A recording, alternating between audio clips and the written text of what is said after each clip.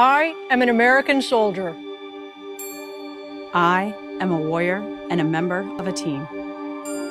Following World War II, the permanent presence of women in the military is formally established with the Women's Medical Specialist Corps, the Army Nurse Corps, and the Women's Army Corps.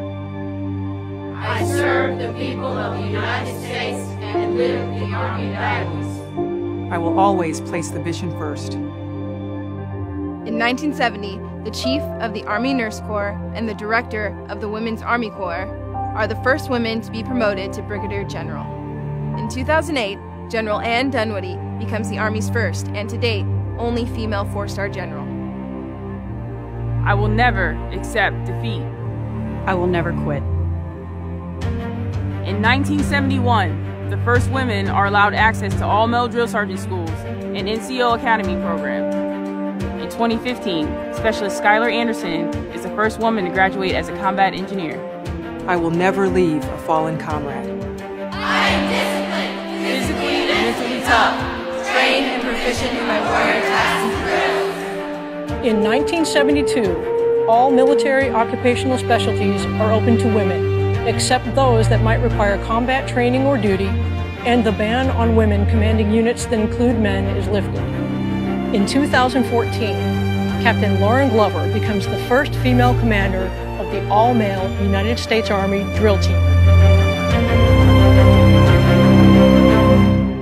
I always maintain my arms, my equipment, and myself. I am an expert and I am professional. In 1977, women are integrated into basic training units alongside men. In 1978, the Women's Army Corps is disbanded. And in 1979, enlistment qualifications become the same for men and women. In 2015, First Lieutenant Shaye Haver, Captain Kristen Griest, and Major Lisa Jaster became the first women to complete Army Ranger School and earn the Ranger tab. I stand ready to deploy, engage, and destroy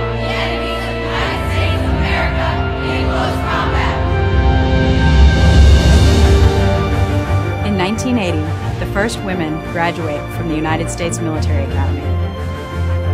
In 2015, Lieutenant General West becomes the highest ranking woman to have graduated West Point when she is named Surgeon General of the United States Army and Commanding General, U.S. Army Medical Command. I am a guardian of freedom and the American way of life. In 2016, the Army opens all specialties, career fields, and branches to women. The best qualified, regardless of gender, are now afforded the opportunity to serve. We, We, We, We,